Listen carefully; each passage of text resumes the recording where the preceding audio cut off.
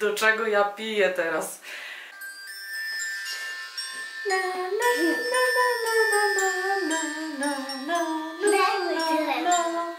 To już serce mnie podpowiada, tylko mózg, dlatego tak jest dziwnie. Upociłam się jak dzika świnia wtedy. Hej, dzień dobry, witam się z Państwem bardzo, ale to bardzo serdecznie. Dzisiaj jest taki dzień, że no godzina jest normalna, ale niestety nie było mnie cały czas w domu i nie miałam jak zrobić obiadu. No każdy ma takie dni, tak? Jeżeli gotuje obiady w domu, no to czasami jest taki dzień, w którym no trzeba zrobić coś na szybko. No albo ktoś ma uszykowane dnia poprzedniego, ja nie miałam. Więc nie uwierzycie co zjemy dzisiaj z Laurą. Wstawiłam kiełbaski na ciepło. Do tego chlebek, to jest ten żytni, co kupiłam w Carrefourze właśnie. Krótki skład, mało cukru. E, no, w sumie powiem Wam tak, z tym chlebem co Wam mówiłam. Mogłabym go nie jeść, jeden kawałek sobie wyciągnęłam. I wiecie co myślałam? Mm, No bo muszę nadal te badania zrobić, jeszcze ich nie zrobiłam, nie? E, Ale z tego co na szybko rozmawiałam z lekarzem, to kazał mi już sobie zrobić jakiś pogląd i cały czas mierzyć ten cukier, skoro mam taką możliwość, yy, po każdym posiłku, nie? No i wytłumaczył mi co i, i na czczo, i po posiłku, ile i tak dalej, sobie to zapisywać. I teraz, żebyśmy jasno się zrozumieli, że to nam nie da żadnej stuprocentowej diagnozy, tylko no badania iść i zrobić, ale ja nie mogę, teraz po prostu muszę to przeciągnąć, ale skoro mam możliwość, to lekarz, lekarz kazał mi to monitorować, ale ja już Wam mówiłam, że ja oprócz tego cukru to chcę sobie zrobić taką, wiecie, litanię całych tych wszystkich badań. I ja oglądam na, teraz nie wiem, czy ona jest na TikToku, czy na Instagramie. Jedna jest chyba na TikToku, druga na Instagramie. Tak mi się wydaje. Są dwie kobiety, które oglądam, mm, które są na diecie low carb. Wpiszcie to sobie, poczytajcie sobie o tym. Ja na razie nie chcę Wam podawać nazw tych profili, dobra? Y, Ja Wam je podam, ale jeszcze trochę. Ja nie będę miała z nimi żadnej współpracy, ani nic takiego, nie, absolutnie. Jeżeli ktoś by pytał, o jakie profile chodzi, to na razie nie chcę mówić. Dobra? Ok? Nie naciskajcie. Powiem Wam spokojnie. Jedna z tych kobiet ma to urządzenie takie, co się w skórę tak, wiecie, to okrągłe, jak to się nazywa, taki glukometr doskórny, no jak to się nazywa, nie wiem jak to się profesjonalnie nazywa, ale to się łączy z aplikacją w telefonie, to jest wbite cały czas w skórę i to, jakie to jest niesamowite. Ja w ogóle czytałam książkę Glukozowa rewolucja. Jak chcecie, to wrzucę Wam tą książkę w informacji pod filmem. Glukozowa rewolucja. Ja ją chyba kupiłam ponad rok temu już. Mm, I przeczytałam tą książkę, aby unikać właśnie zbyt wysokich y, skoków cukru i tak dalej, ma ogromny wpływ na nasze zdrowie. I te właśnie y, laski, jedna w ogóle Wam powiem tak, y, miała insulinooporność, lekką otyłość, mm, coś jeszcze miała chyba. No w ogóle jak robiła wyniki krwi, to pamiętam, że dużo miała źle. No i ona tam schudła, ale ona nie miała strasznie dużej nadwagi chyba. Z 10 kg, znaczy no w sumie 10 kg, no to można powiedzieć, że trochę jest, nie? No ale to nie był taki poziom jak ja miałam, że tam 45. Ona miała chyba zdychę. Ona schudła dzięki temu, że miała post przerywany, to jest jedno, czyli coś, co ja stosuję, ale dzięki temu odżywianiu low carb. Poczytajcie sobie. Low carb. To jest ogień w szopie. Przez dobry rok wrzucała bardzo, bardzo fajne relacje, y, po czym ma skoki cukru, po czym nie ma. Za 3 minutki. Naprawdę za 3 minutki. Ja też już jestem głodna. Mogę tylko dokończyć mówić, bo ona już jest dobra, tylko chciałam nagrać. Mogę? Wytrzymasz? Dobra, dzięki. To już szy- szybko widzowie, bo jesteśmy głodne, też jestem głodna. E, I co ja mówiłam, że ona nagrywała właśnie fajne wykresy, mm, jak jej cukier się zachowuje. I jak ten cukier ma się do tego jej stylu odżywiania, na który przeszła. I słuchajcie, wierzycie w to, że wyleczyła insulinooporność, pozbyła się tych nadmiernych 10 kg i jak robi wyniki krwi, to jest bajka, nie? Tylko ona jeszcze w ogóle suplementuje też niektóre rzeczy. I ja Wam powiem szczerze, że ja jestem z osób, które e, nie podejmują współpracy, jeżeli chodzi o suplementy. E, Miałam ostatnio dwie propozycje i się nie zgodziłam ze względu na to, że mój warunek był jasny. Ja nie jestem osobą, która będzie promowała suplementy diety bez podania informacji, że to nie jest tak, że o, bo Karolinka je mm, poleca, tylko trzeba iść zrobić badania i według tych badań dobrać sobie dopiero suplementy. I niestety miałam odmowę od niektórych firm, I ja też tak do tego podchodzę, że jeżeli w ogóle pokazywałam Wam kiedyś jakieś rzeczy, no to też zawsze gdzieś tam starałam się napomknąć, że to nie jest tak, że ta bierze to, ta bierze tamto, o to ja też sobie kupię. Pamiętacie jedną sytuację? To już powtarzałam wiele razy na moim kanale. I ja wiem, że nie wszyscy wszystko oglądają, ale jeżeli ktoś tego nie słyszał, to słuchajcie, właśnie. Yy, ja miałam taką akcję, że był taki okres, teraz też się dużo mówi, ale był taki moment na YouTubie, na TikToku i, na Insta, że mm, bardzo dużo mówiło się o witaminie D3, żeby ją suplementować, nie? No i ja mało myśląc, nie robiąc sobie żadnych badań, mówię, dobra, no ta gada, ten gada, ta gada, tamto, kupię se. Co mi szkodzi? I wiecie, że no to jest właśnie błąd. Ja powinnam iść zrobić sobie badania, jak wygląda moja witamina D3, żeby w ogóle wiedzieć, czy można zacząć ją brać.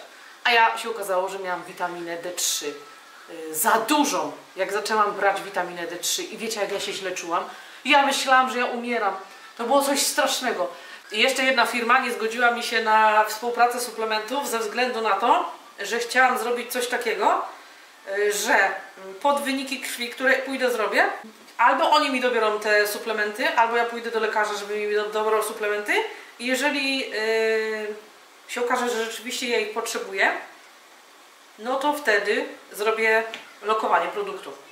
I niestety firmy mi tego yy, odmówiły, a to jest właśnie niebezpieczne, że powinny być informacje przy suplementach wiesz w momencie, gdy zrobisz sobie badania, a nie, bo Aśka, Baśka mówi, że witaminę D3 trzeba brać, bo ją łeb boli, to może ma za małą witaminę D3. Nie, trzeba iść się zbadać, to jest bardzo ważne. Ja mam chyba jeszcze jedną laskę na Instagramie, która, e, czekajcie, i tą będziecie najbardziej kojarzyli, czekajcie. Ona nie tylko się tym zajmuje, o, to dobra, jedną Wam polecę. A ona jest akurat, aha, bo ona jest teraz, wiecie co, dawno do niej nie wchodziłam. Ona jest teraz na etapie y, promowania e-booka low carb, tego jedzenia. Dobra, to słuchajcie, patrzcie, tu jest Eliza, Eliza Wydrych. Nie wiem, czy to dało się wyzumować, czy nie. Jak nie, to słuchajcie, Eliza na Insta. I ona też robiła takie coś, czekajcie, ona też robiła takie coś? Że też chodziła z tym, tym i też pokazywała te wykresy. Tak, ona też, to sobie wejdźcie do niej. To jedną wam zdradzę. To tam sobie wam zdradzę. Ona w ogóle tam ma takie psychologiczne różne yy, pogadanki, sprzedaje różne e-booki psychologiczne, takie fa fajna, fajna.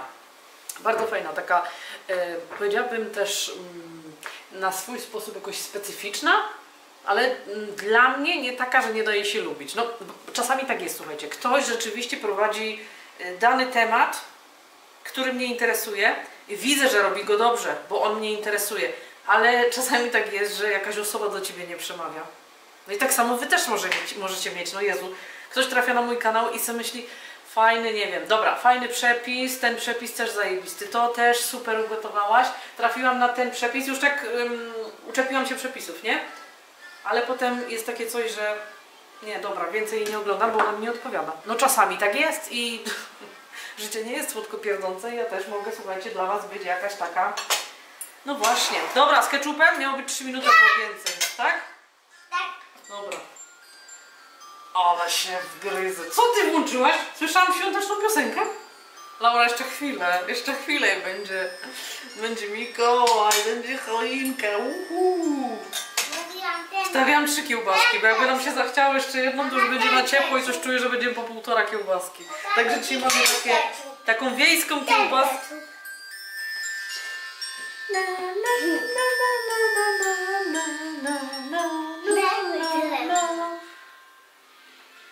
Ale fajne to włączyłaś, to mi się podoba, słuchaj.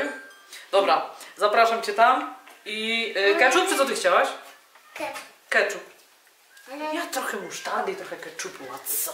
Ja lubię tak pomieszać, wiecie? Ja bardzo lubię taką zwykłą musztardę sarepską, nie, Pegas, yy, stołowa, tylko nie z tych ostrzejszych, tylko te zwykłe. Bardzo lubię taką zwykłą musztardę. Albo lubię z Fanexa tą słoneczną. Ona też jest, jak ktoś lubi hot dogi z Ikei, to ona często jest w Ikei do tych hot dogów. Ja ją uwielbiam. Więc y, tą i słuchajcie, ketchup. O, Tą bardzo też lubię, stołowa Pegas, ta żółta. Byście się chcieli dowiedzieć. No, majonez to ja nie muszę wam mówić, nie? Ale tu majonez to nie, nie, nie. Kiełba to jest ketchup i musztarda. Chrzan nie. Chrzan jest tylko do białej kiełbasy, wiecie? A tutaj to tak, no nie, patrzcie, tu jest resztka ketchupu, to trzeba było wykorzystać. Zawsze patrzę, wiecie, jak są dwa ketchupy czy coś, no to no, wykorzystujemy po kolei, nie? No jak ze wszystkim, moi drodzy, jak ze wszystkim. Wiecie jak pachnie? A to jest kiełba taka tutaj, no to są wyroby własnej roboty. Mm. O, grzeje mnie głowa, ale to już mnie zaczęła, znaczy no oprócz tego, że w ogóle tak na początku dziennym zawsze mnie grzała głowa, to chciałabym sprawdzić, jak tu będzie wyglądał ym, czarny regał. I chciałabym tą monsterę przesunąć tutaj bardziej i tu wstawić ten regał, bo tu kiedyś stał ten czarny regał i zobaczyć, jak to będzie wyglądać. A przy okazji chcę przynajmniej go odkurzyć. Chciałam ten regał przestawić w tamtą stronę, bo mam regał, który jest u góry, ale zanim go zniosę i się okaże, że to jest bez sensu, no to wolę ten przestawić tam i jak będzie miało to sens, to wtedy ten drugi zniesiemy. Rozumiecie, no bez sensu jest targać. A przy okazji zdejmę te wszystkie kwiaty, przesunę ten regał i po prostu powycieram kurze, czyli coś, co no niestety, kuźwa, nie ucieknie i trzeba w domu robić. Raz na jakiś czas wszystko trzeba sprzątać. No to co? Lecim na Szczecin, nie? Jak to się mówi? Lecim. Chodź mój mężu. Zdejmę cię stąd. Masz chwilę przerwy.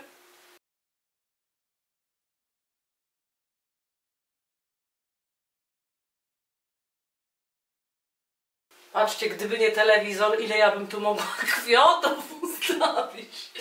Nie, telewizor musi być. Ja wiem, że nadal nasze wymagania są różne i jedni nadal nie mają telewizorów, nie oglądają, nie używają i spoko. Ja korzystałam, korzystam i na razie przewiduję, że korzystać będę. Czy ty mógłbyś mi tutaj naprawdę miernie przeszkadzać? Byłabym ci ogromnie wdzięczna, wiesz? Antury już schodzimy, proszę.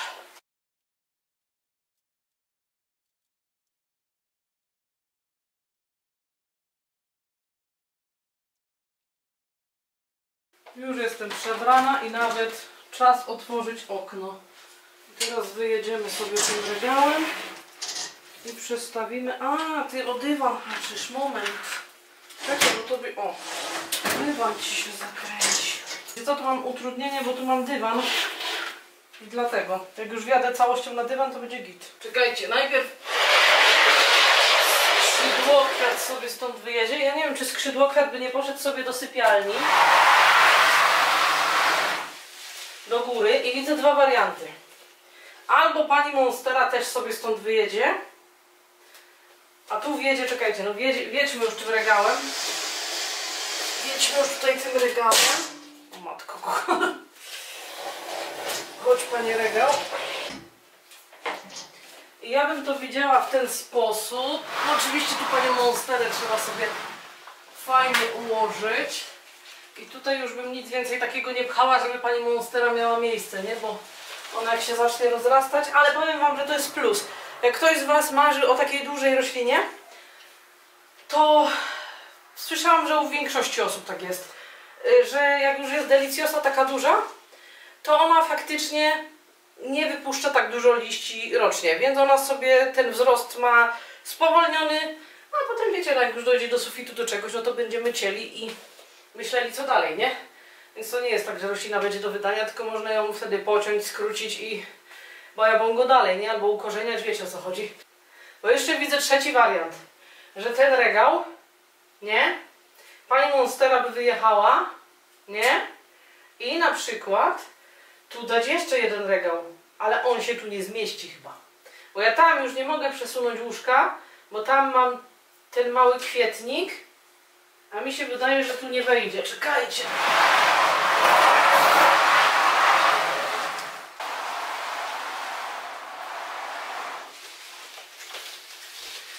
Zamiast iść po miarkę, to zrobię to... Dobra, bo tutaj mamy metr. I wiecie, że może zabraknąć... Nie, muszę iść po miarkę. Czekajcie, jak się tu do, dociskali ją na maksa, to wiecie, że albo to wyjdzie na styk, albo nie wejdzie. Mierzymy tutaj od dołu. Ja pierdzielę, wiecie, że to wejdzie na styk? 100 centymetrów wejdzie na styk to. Nie wiesz.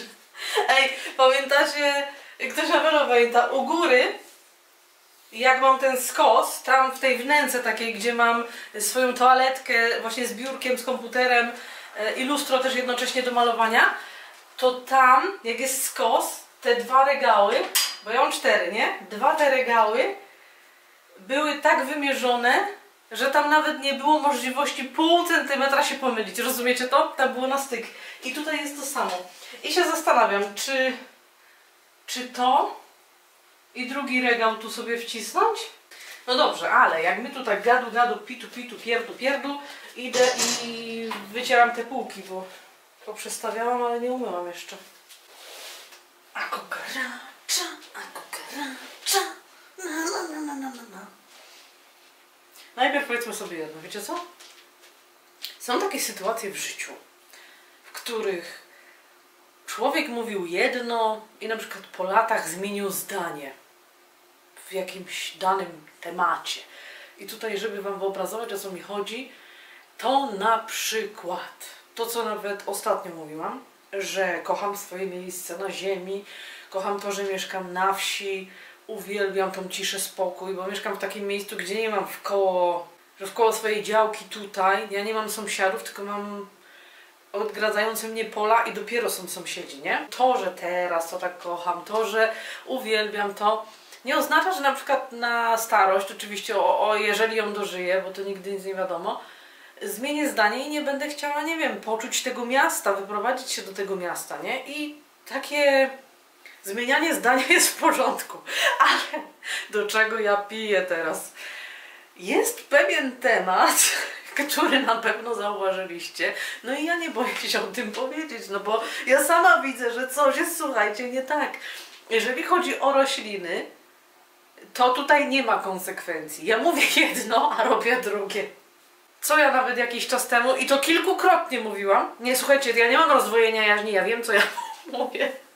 Mówiłam Wam, że e, chcę mieć taki jeden pokój rzeczywiście, gdzie jest ta moja dżungla, bo ja kocham te rośliny, uwielbiam te rośliny, uwielbiam się nimi opiekować, patrzę jak one rosną. To jest moje hobby od 10 lat. Tylko, że teraz to hobby jest rzeczywiście na, że tak powiem, większą skalę. I jest mnóstwo osób teraz, nie tylko w Polsce, za granicą. Jakby stało się to modne i ludzie po prostu, jest coraz więcej ludzi, którzy wpadają w to hobby roślinne, co, co mnie cieszy, bo to jest fajne i myślałam, że to na przestrzeni lat y, zaniknie, a widzę, że póki co w tym momencie jest tego coraz więcej. No i co, co ja, bo przecież ja Wam nie powiem, co ja mówiłam kilka razy, że chcę mieć taki jeden pokój w domu, żeby on był taki naprawdę roślinny. I nie to, że wtedy w innych pomieszczeniach nie będzie roślin, ale że na przykład one nie będą gdzieś na jakichś regałach czy na czymś, tylko na przykład rośliny będą na parapetach. W zeszłym roku, dokładnie w grudniu na Vlogmas, ja pamiętam nawet kiedy ja to robiłam. Przenosiłam wszystkie rośliny, które były u góry, nie? Złaziłam z nimi, z tymi regałami wszystkimi tu na dół, pamiętacie? Tu były wszystkie te regały na tej ścianie, tu i tu, nie? I tu był telewizor między tym, nie? Wyglądało to w ogóle super. Jak sobie tak teraz popatrzyłam, bo wiecie co? Zajrzałam sobie na ten film, no i całkiem niedawno, nie wiem czy może w okresie wakacji, tu nie wiem, ale to było w tym roku i to było całkiem niedawno, na przestrzeni pół roku, tak, na przestrzeni ostatniego pół roku. Co Karolinka mówiła? Że chce mieć ten jeden właśnie pokój taki mocno roślinny i te wszystkie kwiaty, które tu były, te wszystkie regały, co robiłam? Targałam do góry. Wszystko targałam do góry. Wszyściutko. Upociłam się jak dzika świnia wtedy. No i teraz, ustawiając to tutaj, tak jakbym, nie? Znowu robiła to samo. Że wszystko z tej sypialni u góry ląduje tu na dół. No przecież, no Boże święty. Wiecie co, ja się chyba tak nie mogę zdecydować. Czy bardziej chcę mieć rzeczywiście te rośliny tu, chcę mieć je tam u góry w sypialni. No właśnie, czy to jest ostatni raz? Też bym się nad tym zastanowiła. I w sumie powiedziała, że nie ma na to jednoznacznej odpowiedzi w tej chwili. Już tak nie okłamując rzeczywistości i, i tego, jak realia wyglądają. Ale patrzcie, no teraz jak ja wstawiłam sobie ten regał, teoretycznie to by mogło tak być. No tu ją jeszcze możemy sobie trochę przesunąć. Teoretycznie mogłoby to tak zostać. Ale znowu te roślinki, nie wiem czy to widzicie, które są tam, trochę pod tymi liśćmi, no to raz, że mają mało oświetlenia, no bo monstera je zasłania, a dwa, że no one będą się też rozrastały i nie będą miały tak miejsca, nie? W dżungli to też tak jest, Jezu, jeden rośnie pod drugim, cisną się jak głupie czasami, nie? Bo to zależy jakie tam skupiska roślin, a ja się przejmuję, że tu się będą cisnęły.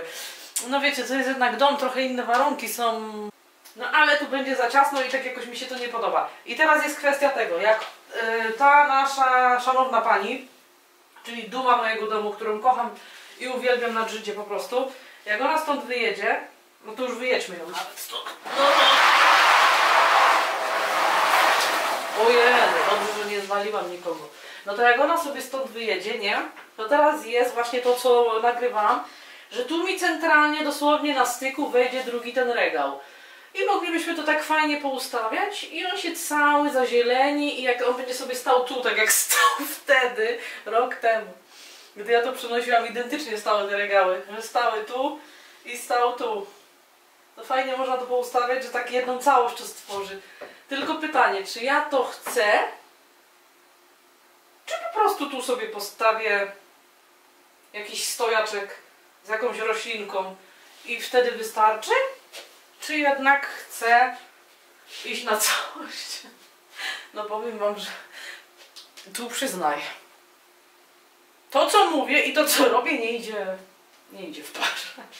Nie wiem, chyba zbyt bardzo to kocham i co chwilę chcę mieć to gdzie indziej, nie wiem. Ale jak ktoś by chciał mi powiedzieć, że to też nie jest takie dobre y, ciągłe zmienianie roślinom miejsca, zgadzam się. To już serce mnie podpowiada, tylko mózg, dlatego tak jest dziwnie. Bo gdyby serce może tym kierowało, to może te rośliny już by zaznały w końcu swojego miejsca w domu. No ale no rzeczywiście to też tak jest, że jak już roślina stanie w jednym miejscu i po, zacznie podejmować wzrost i będzie się wybarwiała dobrze, jeżeli ma jakąś tam wariegację czy wybarwienia i będzie dobrze rosła, to warto ją tam zostawić i nie zmieniać jej miejsca 5000 razy. No bo nawet w naturze, tak? Jak ona urośnie w jednym miejscu, to nikt nie łazi i nie przekopuje. Ja nie mówię tutaj o roślinach, które są, nie wiem, u kogoś w ogródku, tylko o takich roślinach, które rosną w naturalnym swoim środowisku, tak? To nikt tam z łopatą nie loto i ich nie przestawia z kąta w kąt, nie? No też, że one rosną po tych lotaniach, po tej chacie, to też jest cud. Ale wiecie co, ja wam, e, chcę wam coś bardzo ważnego powiedzieć. E, Ja w tym roku, Jezus, choroba zawodowa, ja myślałam, że to... Wy... Ja w tym roku stałam się posiadaczką, yy, kupiłam yy, te żarówki z firmy Verticana. I ja Wam muszę powiedzieć, to co Wam mówiłam, że rośliny pod nimi rosną świetnie. I mam tutaj dwa przykłady, które chcę Wam pokazać, yy, że te żarówki po prostu działają cuda, naprawdę. Ja w ogóle te żarówki kupiłam, wiecie co, z polecenia Magdy z kanału Amazonia i z polecenia Damianu, z, z Damianu, Damianu, Damianu, pozdrawiam Cię, z kanału, y, Boże, Damian z kanału Zielone Okno, na pewno kojarzycie. Magda kanału Amazonia, wpiszcie sobie na YouTubie. A Damian Zielone Okno na YouTubie, tak się nazywają. To, co ci ludzie robią, przechodzi moim zdaniem ludzkie pojęcie, jeżeli chodzi o uprawę roślin, y, to jak im to wychodzi i coś, co jest, słuchajcie, kluczowe że nikt nie ma, znaczy no są takie mieszkania, ale mało, no tak jak ja mam standardowe takie mieszkanie, tak, które ma standardowe okno, nie jest nie wiadomo jak zaszklone, no to niestety rośliny, które sobie ustawię tam, muszą być sztucznie doświetlone. I ja Wam powiem, że jeżeli ktoś z Was, bo wiem, że jeszcze takie osoby są, mm, które y, nie chcą kupować oświetlenia dodatkowego dla roślin i uważają, że to nie działa. Uwierzcie mi, że to działa. Uwierzcie mi, że takie rośliny rosną pięknie. To inaczej. Nigdy, nigdy w 100% yy, sztuczne światło zrobione przez człowieka nie zastąpi prawdziwej natury, prawdziwych promieni słonecznych, ale naprawdę według mnie to doświetlanie, szczególnie okres jesień-zima, no albo ktoś cały rok i jeżeli ma właśnie takie kąty i chce mieć rośliny, to uwierzcie mi, że to działa. Wiecie dlaczego? Patrzcie. Kto też w ogóle jest w świecie roślinnym, to wie, że są takie rośliny jak filodendron, który się nazywa... Ten w ogóle liścia mnie odrzuca, dlatego że wiecie co, ja go pocięłam. Piękne korzenie już mi puścił. Yy, I ten liść jest w odrzucie i na razie go nie ucinam. Na razie go zostawiam, pozwalam mu całe, całemu zżółknąć i dopiero. I tu słuchajcie, jest taki totalny miszmasz. Te rośliny stały w cieniu i tutaj, że ta żarówka, która je cały czas oświetla, a ona nie oświetla ich dosyć długo, bo żeby teraz nie skłamać, w granicach kiedy było tutaj przeniesienie? Pamiętacie? Y, Kiedy robiłam tutaj to? W granicach, dobra, przy zaokrągleniu dwa miesiące, wydaje mi się, że nie więcej. Plus, minus może być trochę mniej, nie wydaje mi się, że przekracza to czas dwóch miesięcy. Bo tu jest okno. I tutaj te rośliny, które już są tu, bo na tego to jeszcze trochę światło, jak słońce świeci, trochę wpadnie. Ale te, które są tu, to już ni choinkę nie dostają żadnego światła, bo nie ma jak to słońce tutaj wpaść, tak? No bo słońce się przecież nie załamuje, nie odbija, tylko no naprawdę tutaj tego słońca naturalnego nie ma wcale, bo tu jest kąt. I te rośliny dostają światło od żarówki wertykany. I to jest filodendron, patrzcie, tutaj już jest większy liść, który mi wyszedł. Yy, I to jest filodendron Florida Ghost. No, kto się interesuje roślinami, ten wie, czym jest Ghost. Piękny, wspaniały. Jest Florida Beauty, jest Florida Bronze, jest zwykła Florida Green, jest y, Florida Ghost, która właśnie charakteryzuje się tym, co właśnie widzicie na ekranie, że te młode liście wychodzą takie no, duszkowe, jak sama nazwa wskazuje, i one po prostu z czasem stają się zielone. Ale ten filodendron ma to do siebie, że jak macie kilka sadzonek i on w ogóle rośnie bardzo szybko i wypuszcza te młode listki, to to bajecznie wygląda, jak tak jest, wiecie, kilka takich młodych, jasnych liści. A te starsze już są zielone, naprawdę wygląda to bajecznie. I jak widzicie, mój cały filodendron, to wam nawet mówiłam w którymś filmie. No nie znajdę wam teraz tego filmu, ale ja wam to mówiłam w którymś filmie, że mój Florida Ghost stracił wybarwienie ze względu na to, że świadomie stał w takim miejscu, gdzie miał mało światła i się nie wybarwiał. I najnowszy liść okazuje się, że wraca z wybarwieniem Ghosta. Ja myślałam, że to już będzie niemożliwe, że już nie wróci. A zobaczcie, co te żarówki robią.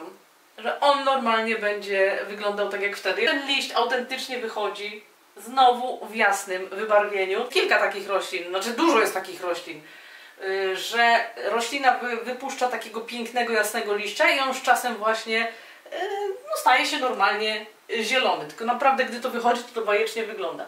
Druga sprawa, która... Czekajcie, gdzie to, gdzie to ja postawiłam? A tam jest, moment. Tutaj jest taki yy, no kubek, normalny kubek. I tu są sadzonki, które się ukorzeniają. One już tu się ukorzeniły, ale ja tam je trzymam jeszcze, niech one sobie porządnie te korzenie wypuszczą. Ten kubek, czy w ogóle mnie widać? Ten kubek stoi tam, bo tam jest taka jedna dziura, taka przestrzeń i ten kubek stoi tam i on był tam doświetlany. Czekajcie, ja trochę tylko tak zrobię, o może, może ciutkę niżej. I zobaczcie, co tutaj się stało. Jeżeli ktoś się y, interesuje roślinami, będzie wiedział, y, o czym ja mówię, o jakiej skali wybarwienia przez te żarówki. To są rośliny, które były cięte jako Marble Queen, Epipremnum Marble Queen, nie? Które, no, w zależności właśnie od tego, jakie mu światło damy, jeżeli będzie miał tego światła totalnie za mało, to będzie całkowicie zielony. A jeżeli będzie miał jakieś tam to światło, no to będzie miał taką marmurkową, o, takie coś, nie? Marmurkowe wybarwienie. I teraz sytuacja jest taka, zobaczcie. Te sadzonki stały tam, no dajmy na to te dwa miesiące. I zobaczcie, jakie wybarwienie wychodzi.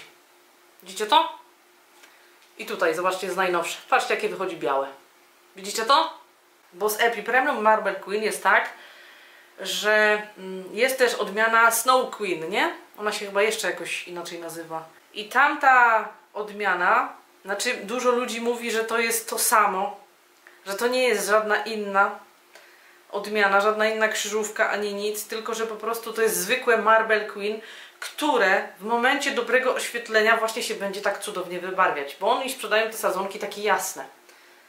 No i poniekąd u mnie się to sprawdziło, zobaczcie. To jest zwykły Marble Queen, tak? Widzicie, tutaj ja go miałam też w takim ciemnym miejscu, bo one będą rosły. Jeżeli macie jakieś takie ciemniejsze zakątki, one będą rosły. Ale pamiętajcie o tym, że gdy chcecie, żeby roślina właśnie no, miała swoją barwę taką, jaką ma, no to gdy damy ją w ciemniejsze miejsce, to raz, że spowolni swój wzrost, będzie rosła dużo wolniej, a epipremum potrafi szybko rosnąć, będzie rosła dużo wolniej, będzie y, się mniej wybarwiała, albo całkowicie zatraci swoje wybarwienie.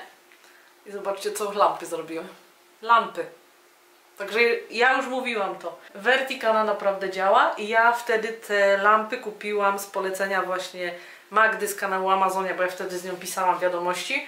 Mm, I gdy pytałam się Damiana o polecenie dobrych żarówek, które rzeczywiście działają, a wiem, że Damian też bardzo długo używa te żarówki, to powiedział mi bezapelacyjnie: Karolina, ty się nie zastanawiaj. Damian, miałaś rację. Magda, też miałaś rację. I teraz to, co zaczęłam mówić, a nie skończyłam. I właśnie u nich jest to niesamowite, że oni interesują się praktycznie każdą grupą roślin. Na pewno są jakieś rośliny, których nigdy nie mieli, o których nigdy nie słyszeli. Yy, no bo nikt nie jest alfą i omegą, ale dla mnie, jeżeli chodzi o polski internet, to ich uważam za po prostu guru roślinne. Mm, I zauważcie sobie jeszcze jedno. Jak wejdziecie na kanał Magdy, jak wejdziecie na, na kanał Damiana i do nich jak wejdziecie, nieważne czy wiosna, lato, jesień, zima, to co? Tam jest sztuczne doświetlanie. I co przez cały rok możecie zobaczyć?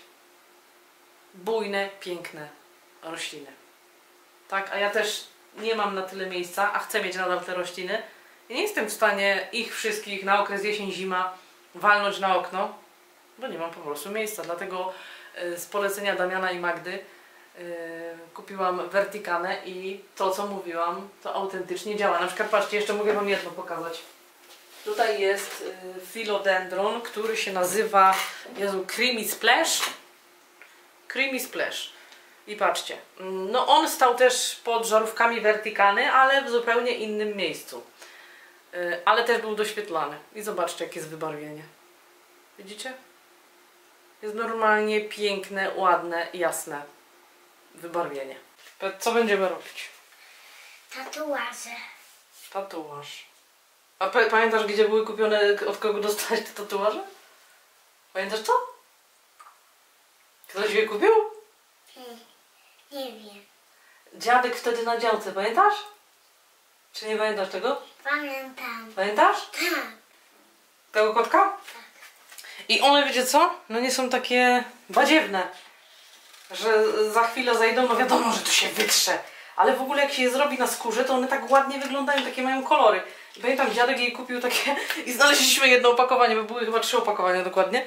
I dziadek jej to kupił właśnie chyba w Lidlu albo w Biedronce, dobra, no nie wiem, nie będę kłamać teraz. Ale w którymś z marketów. E, I na, na którą? Tu? A, teraz, a powiedz jeszcze widzom, czemu jesteś taka nieuczesana?